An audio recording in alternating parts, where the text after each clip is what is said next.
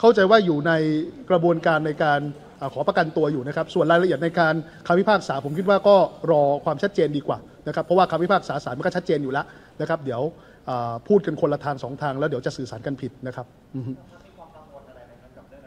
ณตอนนี้ก็ยังไม่มีความกังวล เพราะเราก็ทราบถึง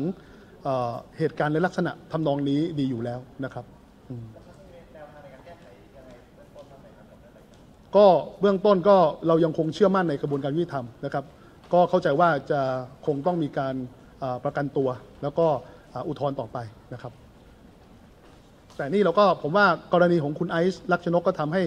เราเห็นปัญหานะฮะที่เกิดขึ้นอีกแล้วนะครับ ผมคิดว่า